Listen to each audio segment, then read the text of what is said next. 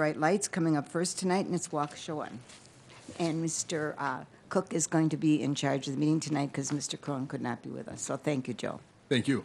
Um, uh, This evening, we have Brian Yearling and Wendy um, and the team coming up uh, to present um, uh, some updates on the Waukesha One Initiative.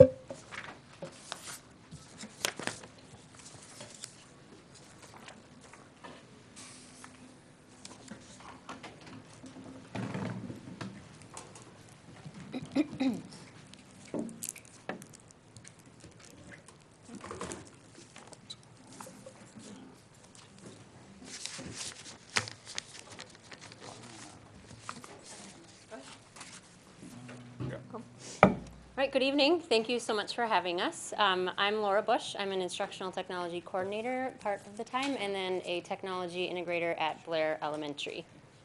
Brian Yearling, instructional tech coordinator at the secondary level, um, all of the time. Yeah. Wendy Liska, instructional technology coordinator. So this evening, we're just going to provide you with some updates on some of the things that have been going on this year with Waukesha One, and um, give you an idea of where we're headed moving forward. We thought we'd start off tonight um, talking about the Waukesha One Conference, which was um, in January. So this was a con- conference that we offered for all of our district employees. Um, we had brought in some keynote speakers. We had um, sessions led by teachers. We had some poster sessions. We had a rock star stage, and you can see a photo um, on the slide up on the top is our um, rock star stage. We also had um, an I commit um, statement that all of our staff members had um, at the end of the session, and that you can see those posters on the bottom. So overall, it was a very positive event. During and after, we had a lot of positive feedback that we received from the event. Everything went really well. We did survey the staff after um, the event was done, and again had really overwhelmingly positive results. Um, 93% felt it was a valuable PD opportunity. 95% learned something new that they will use with their students, and 96% enjoyed their overall day at the conference. Specific feedback for the sessions, and our sessions were led by our own teachers. We had 131 teachers that were presenters, and they offered over 100 different sessions. Many of the presenters um, had never presented anything before, um, especially related to technology. So these weren't necessarily teachers that were known as kind of technology um, leaders in their school, but they came forward and did a really great job presenting that day. So specific feedback um, on the sessions. 95% of the survey respondents said the sessions were of interest to them. 99% said the presenters, again, some teachers who had never presented before, were prepared, organized, and knowledgeable about their content and topic. And 95% said, said the presenters inspired them to try or- learn or try something new. We had 251 staff members that completed this survey, so those are pretty impressive numbers that almost every single one of them felt so positively about the event. So overall, we felt like it went really well. We definitely um, learned some things and are looking um, to change up a few things to make it run even more smoothly next year, and we're planning to run a similar event again next January. I think one of the unique things about the conference too is that we captured all of the presenters' sessions and um, many of them made a short video clip kind of explaining what their session was about. And those are all housed in our Blackboard system, so they're available to our staff to go back and review or say, I couldn't get in that hour because it was so crowded and be able to still kind of see and catch up and maybe touch base with somebody on that learning later on. Just kind of an update on where we are with rollouts. It's really um, easy for us to kind of say, oh, we're done, we've got the devices out there, and, um, you know, everybody should be seeing wonderful changes in their classroom. At this point in time, all of our K-12 staff have devices in hand. This spring, we had our Wave 4 uh, schools receive their student devices, so we have three elementaries that rolled out just this spring in April, or February and March, and did their pieces. And we still have two schools that will roll out in September for Hadfield and Lowell will be our last wave of students receiving their devices. There's also mini rollouts that will be happening at each of our schools as new students get their devices. And either our kindergarten or our second graders receive their permanent iPad for the first time, depending on the school, um, and the way that they roll out. So pretty much almost every second grade group is a new rollout where they start with their Apple IDs and taking responsibility for their devices at that point in time. So we're not done yet. it's definitely something that is ongoing and continuing. And as we look for changes in the things we're seeing in our school, we need to look at the fact that some of these people are three months into it and some are two years into it. So uh, just kind of a refresh on that. One of the things that we've been really working with in our professional growth and looking at that use of technology is the SAMR model. And most of you have heard us talk about that in the past.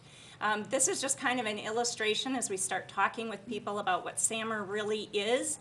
It's from that piece of actually not being a tech user and just kind of wondering what's out there and available to that piece where the technology allows us to do some of the same things we've always done. Instead of students writing in a paper notebook, they might be typing on their iPad and using that as their device to accomplish the same kinds of tasks in the past. When we get into augmentation, the tech really does add something to that task. It changes um, the job at hand, so to speak. So now we might be snorkeling instead of just sitting on the raft on top of the water. We're actually able to get underneath and take a look around and, and do things more um, improved functionally over what we were doing before. When we start getting into that modification, the actual lesson is really starting to change. And it's things that can happen because that technology is there and a part of our atmosphere and what we're doing. And so it's really a kind of a different stage. And then we talk about that redefinition, where the tech really allows for a new task that we could not have done at all before without the technology. We've been working with that this year as we've done our staff development and working with others, and that's kind of a model that you'll hear us continue to talk about as we look towards our future um, professional development and looking at how our technology is being used in our classroom to show growth for our staff and our students. Anything you wanna add? Yeah, the only thing I'll add is, uh, we've come to this before, we've talked about SAMR before. This is gonna be the language that'll really help us to, to talk about where we are at in our adoption. Somebody who's brand new to the technology is probably gonna be more at that substitution level. Somebody who's never used it before, trying it for the first time. So as you're having conversations with your constituents, with teachers, with administrators, this is a really good, um, framework to begin to understand, because you can start saying, you know, how deep are we really digging with this, with, with the tools that we have, and what are we doing differently than we used to do before?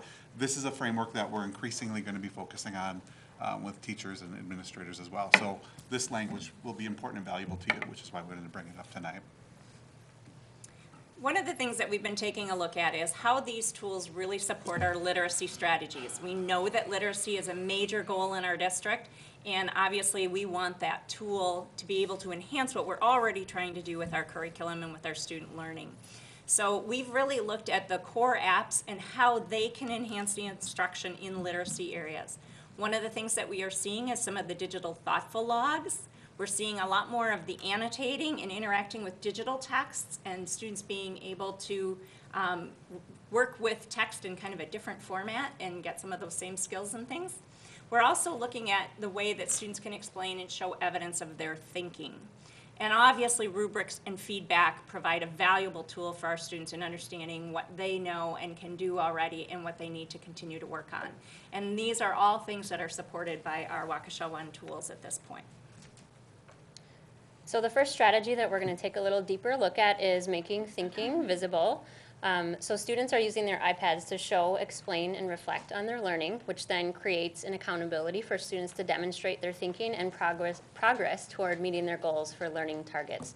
The app that really allows students to do this is the Explain Everything app. So this is a whiteboard app that allows students to add text, drawing, images, video, um, and record not only audio, but they can record all of their on-screen um, movements as well. So this is a um, video from a Hi, my name is Mia. This is the app will explain everything.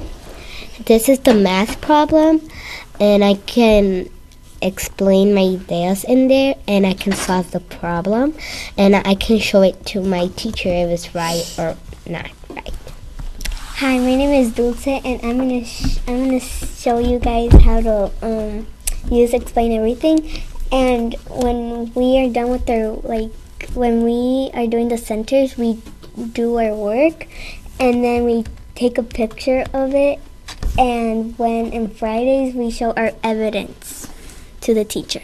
Press the record button and she can record everything that she's drawing on the screen as she's also explaining it and then she can send that to her teacher so her teacher can see um, how she solved the problem and every step of her problem solving strategy um, and then with the second example um, these students are using the app explain everything to show their evidence of thinking through centers that they work on during the week um, so it's again holding them accountable for um, their work throughout the week. And then at the end of the week, they put all of their pictures from the work that they did in their centers onto this graphic organizer and explain everything. And then they record themselves explaining the I can statements for each center. And then again, they can send that to their teacher.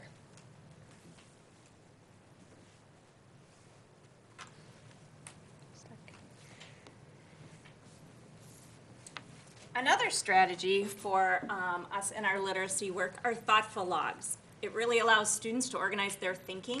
It shows their habits of reading and comprehension. It allows them to record evidence of their learning. And it also allows them that piece of making their thinking visible so that, that teachers and instructors know what it is that they are processing as they're working through those. One of the tools that we use with um, the thoughtful logs has been Book Creator. It creates a digital book or document for students. It incorporates text and images. It records audio and video. And it also allows them to use a mic and a camera for easy media capture of what they're working with or what they're thinking about at that point in time. So Book Creator has been used quite a bit for some of the thinking logs and things that are being done in multiple kinds of classes, not just in our writing or reading classes, but also in some of our language classes and other areas, just to be able to incorporate that work into what they're doing. So uh, one of the things that we have talked a lot about this year with our focus on literacy is a, and focus on annotation. And hopefully you see kind of in all of the examples, these are things that, you know, the strategies we're talking about are things that are being brought forward by the CNI department. They're things that are being talked about by teachers and, and principals and students. Like these are the real world applications. And I think the big leap that we're, we're trying to hopefully make for you is that the tools that we had, which in some cases people are just getting to use, and in some cases, which they've had a year and a half, two years to, to get used to, are fitting really nicely with the strategies that, that they want to ultimately kind of implement in their classroom. So the technology is not driving our strategy choice. Our strategies for learning are the focal point, and the technology is kind of the supplemental piece that's allowing that to happen.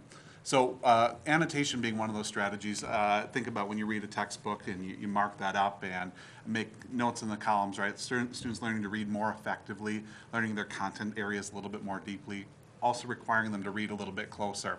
And so one of the tools that we're really focusing on is iBooks Author. It's a tool that's used on the MacBook by teachers, and it allows them to really create um, unique customized text that students can dig into. It helps guide them, it helps scaffold their thinking. So um, go ahead and hop through the next one. So this is an example of a, uh, an article that we found on a site that automatically um, allows students, it, it takes the text from a newspaper article and it levels it to the student's appropriate level. And then on top of that, so not only are we giving kids the right text at the right level, but on top of that, what the teacher is doing is putting in, you can see in the left-hand example, uh, putting in images so that we promote some of that visual literacy piece.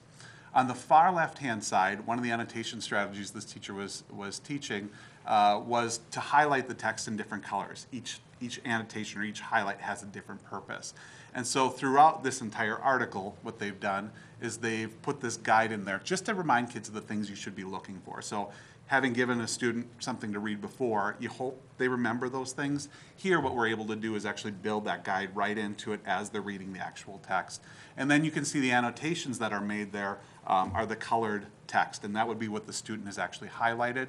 And it's really hard to see, but on the far left-hand side, there's a little post-it note. Uh, one of the things that's always been a struggle with digital text and annotating it is actually making meaningful notes on that. So just like a sticky would be, or a post-it note would be in a physical book, here you have an example of um, that little pink box in the far left corner is actually the student's thinking, and they can click on that and pop it up. On the far right, then how do kids get this out? How do they share it? How do the teachers see it? How do they assess it?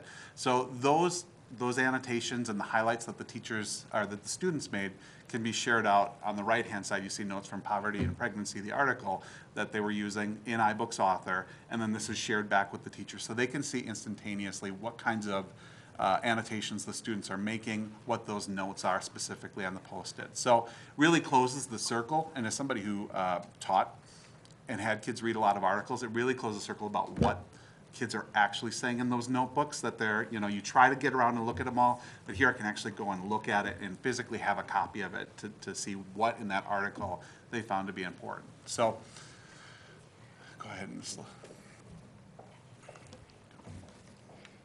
So another strategy um, that we've been focusing on with literacy and then connected with um, Waukesha for Learning are rubrics and feedback. So providing um, students with with rubric rubrics, sorry, so that they um, have a clear learning target, um, also with quality and formative and summative assessments, and giving them the opportunity to receive um, feedback from their teachers and be able to respond to that feedback. So we've been using um, core apps such as Showbie and Google Drive, and then also our Blackboard um, management system to um, share rubrics and provide feedback. So this allows teacher to share assignments, instructions, and um, resources with students. And then students can also ask clarifying questions. They can add voice or text notes and submit work to their teachers in a variety of different formats, PDFs, videos, pictures, um, all of those different formats with their teacher to then get feedback from.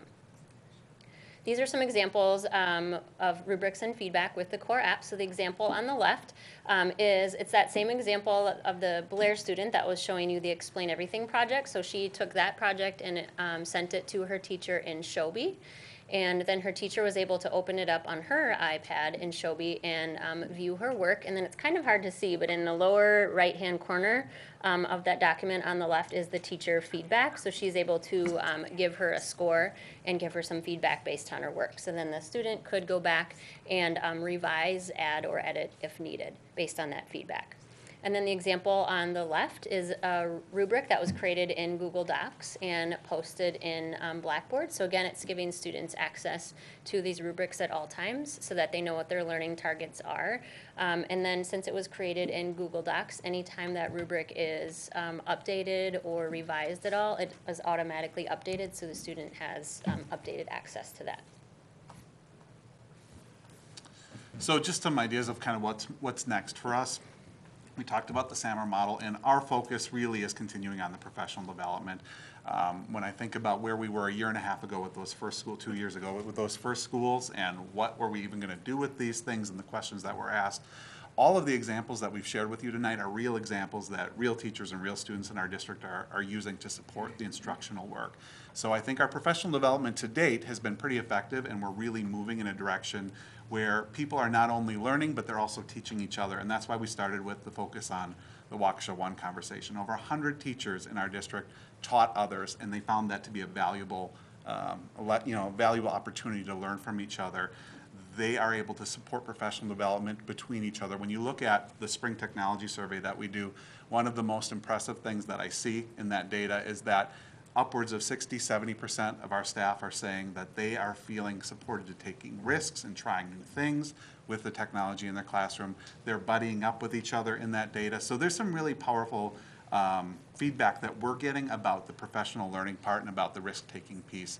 Now, we're going to work, uh, with Summer Math Institute and the Literacy Institute are coming up. What we're really excited about is having a voice in some of that to say, how is the technology going to integrate? Because if we're just doing technology for the sake of doing technology, we've kind of missed the point. So the real, the real point is when we focus on the Math Institute or Literacy Institute or whatever the instructional focus is, how does that tech support it? And so we're excited to be a part of that conversation about what kinds of you know, sessions are going to be offered, what's going to be the focal point. And that's why we showed you examples from our literacy uh, end of, of the spectrum tonight, what we're doing with technology to support literacy. We'll continue our learning at PSI, as we have been doing for a number of years, and people who feel they need that support face-to-face is there. We also actually have um, some online self-paced courses that we're, that we're offering, just to give people who maybe haven't had that experience a different way to access the learning, where they don't have to come and meet with us face-to-face through the whole course. They connect with us on the front end and on the back end. Um, But it's another way that we're supporting professional development and giving teacher flexibility uh, that'll meet their schedule. And then, of course, as, as Wendy mentioned at the beginning, that one conference is coming back around in January. And that'll be a great opportunity for us to really mark kind of where the growth points have been. One of the opportunities from the one conference where people were committed to trying something that they had learned on that day. And so it'll be a really neat opportunity for us to see what kinds of sessions this fall are proposed for that one conference based on the commitments that were made in this, this following, or this previous January. So, um, some pretty exciting things that are, that are happening to help our professional growth, which ultimately is gonna aid in our professional practice. And that's it. That's what we have for you tonight. I have a quick- Questions? Mr. Baumgart? a comment, maybe, and then a question. Uh, Steve uh, Schloman mentioned at our technology meeting the other night uh, on your SAMR, uh, kind of trying to evaluate the staff as to where they are in prog- in progressing.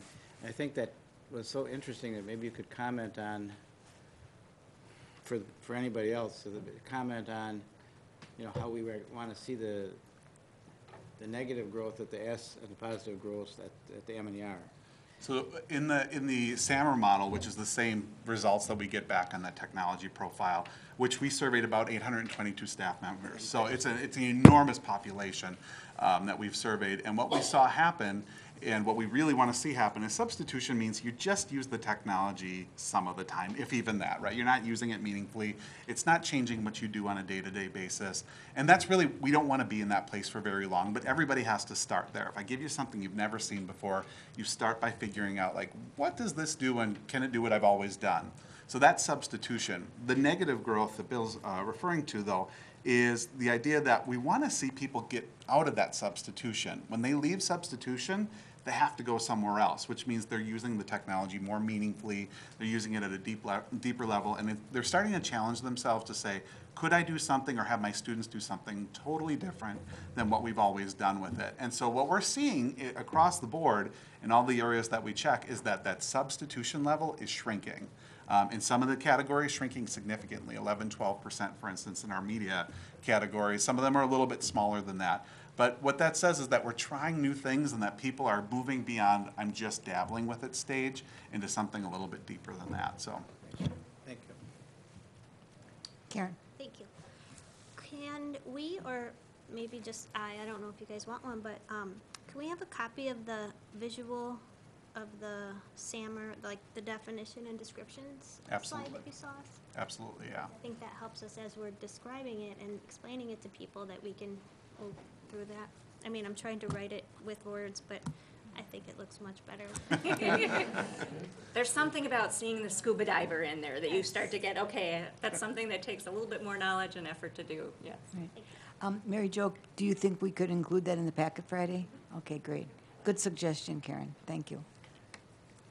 Okay, I have a few questions. Um, you know, you're talking about the strategies, and to me, it's, it sounds kind of complex for, you know, K-1 students, but I see that that was, I think the student from Blair was the second grader. So would you say those strategies are probably more successfully used by um, middle and upper elementary students, of course, in middle school and high school? I just can't imagine that a five-year-old can, can respond accordingly. So I guess I'd, I guess I'm gonna have to see that. I think And- one of the neat things with it is that having that audio feature so often levels the playing field for so many of our students. So our K-1s oftentimes are simply getting a note in there or a letter or a picture of something, but then they can lay their audio over the top, so we still get to see what it is they were thinking or what their processing was on that particular task. We've had our um, kindergartners and first graders be extremely successful with things and um, working with iMovie and things that normally we wouldn't say you'd see that low. Okay, good. Did you have a question or comment? Okay, then secondly, um, I'm wondering if we should offer opportunities for our substitute teachers to participate in our professional development. Some of them are long-term subs, and I, I, you know, I personally know someone who is doing a long-term sub job and is lost. So I'm wondering, you know, that's, that's a long period of time for the student to go without using those computers as they would with their regular teacher. So, so have been, have there been any thought given to that? There has been. We did invite all of our substitute teachers to attend the Waukesha One conference. They were Okay. included in that Good, invite. good. Um, just on Friday with the Professional Development Day, uh, Laura and I provided, uh, staff development for aides throughout the district Good. whose principals wanted to send them on the core apps, so that they were able to get in and experience that and do some of that learning, because we know that they are supporting those staff members as Mm-hmm. Right. well. And obviously, we open up anything we have to any of our substitutes. but I it's- meet with them their first orientation session and talk about where some of our online learning is available for them whenever they have the time and can um, get in to do that, but then also any of the classes and things are open. Did you say we have an orientation for subs every year? Okay. Mm-hmm. Several. But it's volunteer, correct? The orientation so- itself is not. They come in and meet not. with Lori Kiley from the HR office and go through some things, and um, we present a little bit on the technology, and Sarah Druzwicki's been really awesome on presenting for special ed and coming in and Good. working in those classrooms for substitutes. So it's very short and sweet, but it lets them know where some of those resources are available to Well, them. that's good.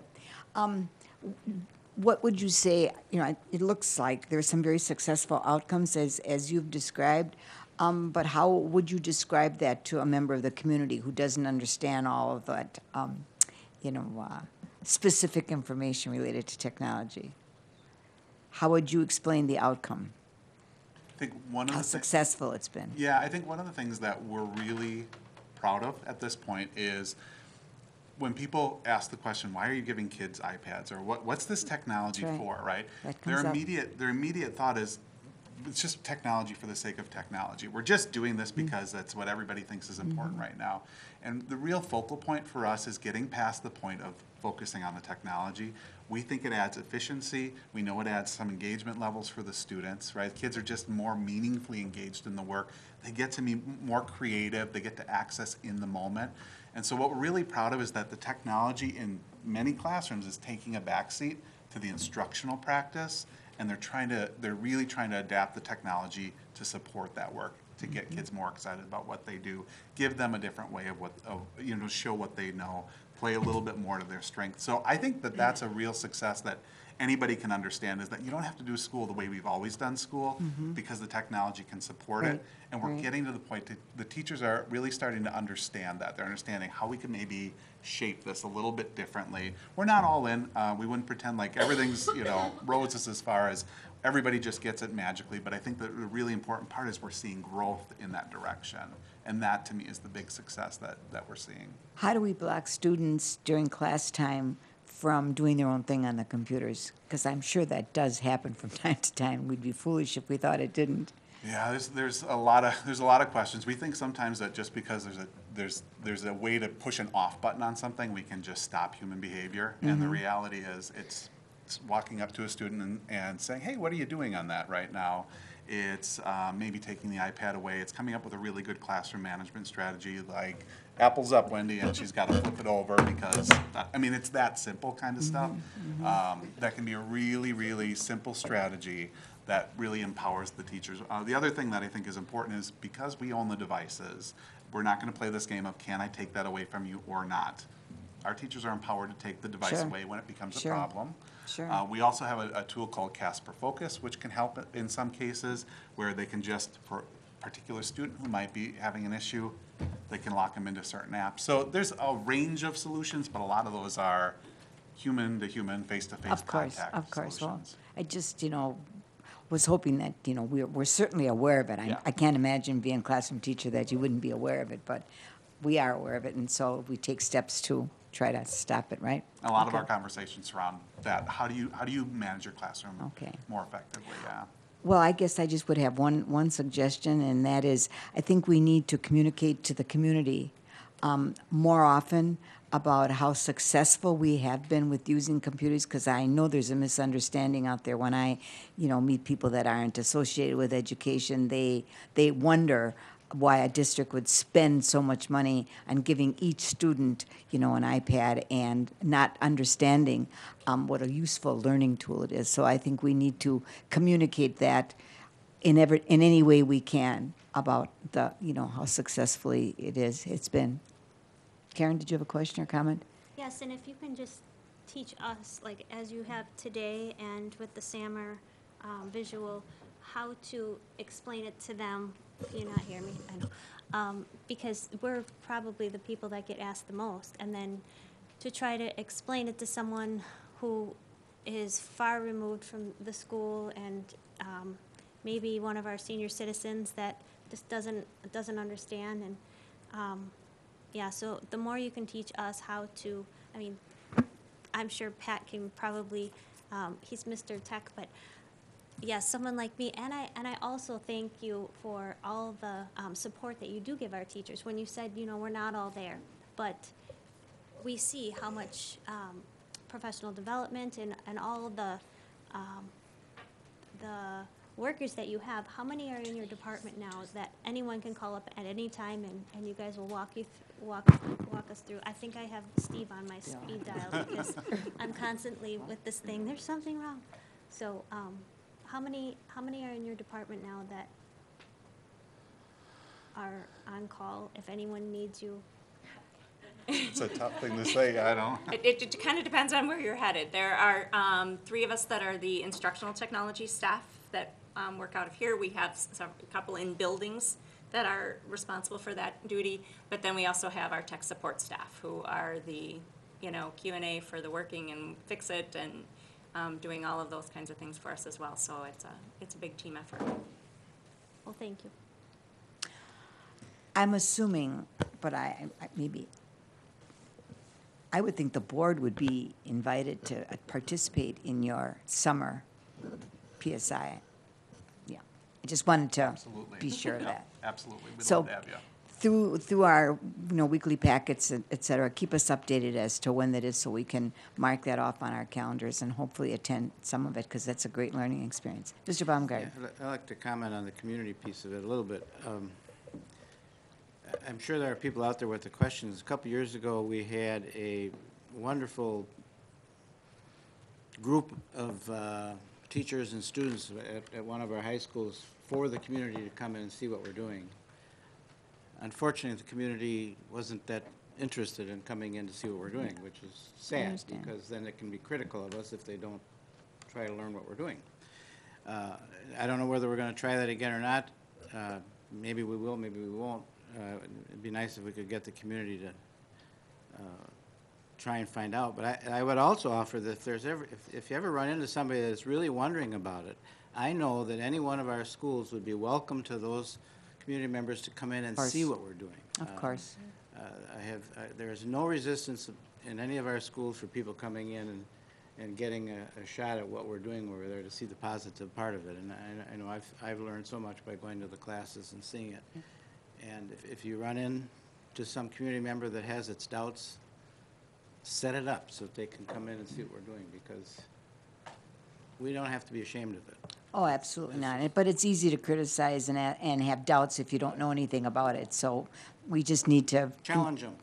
Right, but we need to continue to offer learning opportunities. Karen, did you have something you wanted to say? Yes, um, a community member said to me, and I don't know how we can solve this with technology, but she said she left a note for someone to take care of her dog or something. And two days later, she came back and the, the high school student didn't know how to read cursive, so had no idea how to take care of the dog. And I don't understand how um, technology can help with that. I think we still need to be writing and we still need to be reading all sorts of um, things, but something like that, you know. And I'm, I'm speechless at the time, and I know that it's a struggle. And if Ryan were here, I'm, I'm sure he'd um, say, "We only have so much time in the day, and we need to fit all of these things in." But you know, what about cursive? We still teach cursive. We do. Yes, we do. I know we do. I don't know why that person couldn't read it, but there is handwriting among the board people that I can't read either. Well, Mr. Anthline is here. Mr. Anthline is the elementary um, supervisor. Would you like to just answer that question, uh, Mr. Anthline, about teaching cursive, so we get that cleared up for once for, just come and, just uh, come on the microphone. Sit down gingerly, Bob. Gingerly? I mean, this has nothing to do with technology, but let's clear this up. At what grade do we teach cursive? I guess is the. Uh, ha- Handwriting is, is taught and it's part of the curriculum K through third or and or fourth grade, depending on the sites. Um, you know, like many things, there's opportunities to make it better, but we do teach handwriting throughout the grades. Especially Now you're K- saying beyond, beyond, you know, printing, we're teaching cursive writing? Mhm. That's what I thought. In all schools and in the early grades? Mhm. Okay, Great, thank you. I'll Sure. report back. okay, thanks, Bob, I appreciate it. Okay, thank you all very, very much for being you. here. I don't think there's any more questions or comments. Good job. Fantastic. Keep it going. Great, great, great experience for our students.